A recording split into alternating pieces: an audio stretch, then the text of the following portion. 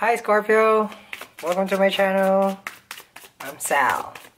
We're doing your couple and uh, dating uh, um, reading for March. Oh yeah, it is March. Sorry. Yeah, so that's what we're doing. Um, there's gonna be four cards each. Um, your story and their side of the story. Genders are not. There is no genders here. Okay, this is all about energy base. So whoever you're dating, we're stalking. Let's see. Cross watchers, beware. okay, let's see what are the energies surrounding you. Okay. Mm -hmm.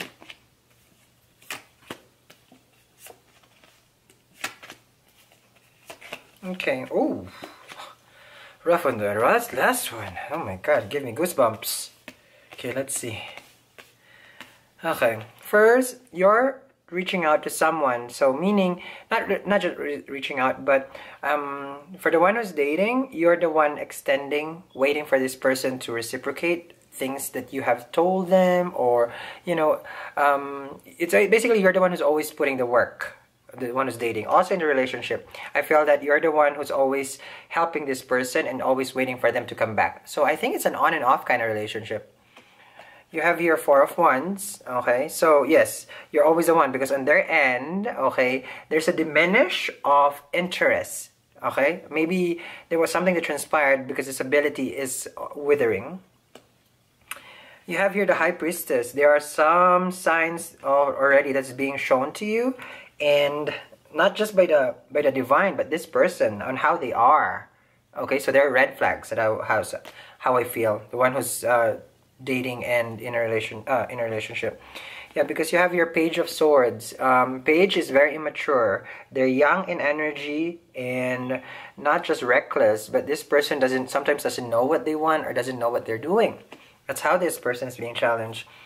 Seven of cups here. You're thinking already of you know these are choices upright. So you're just like any mini mo should i stay or should i go? I like that. It rhymes. Scorpio this person doesn't want to they don't want to take a chance anymore. They're done. That's how they feel. Nine of pentacles over here. You feel that you have wasted your time here on earth being with this person. This person will break your heart. They're already thinking of breaking up with you. Dating or in a relationship it's very straightforward. Oh wow. Whoever this is um make sure you cleanse your energy after this scorpio but yeah, there's something major, and um, I don't feel um, that this person wants reconciliation even at all. Um, they have diminished their emotions and their feelings. The, the passion is gone. Um, so don't try to hold on to it. Let it go. Okay, don't expect them to return at all. You're off, better off without this person because they're a page. They're not even a king. Why bother? Alright, so Scorpio, I wish you well for the, the rest of the March. Uh, my name is Sal. Link down below for personal.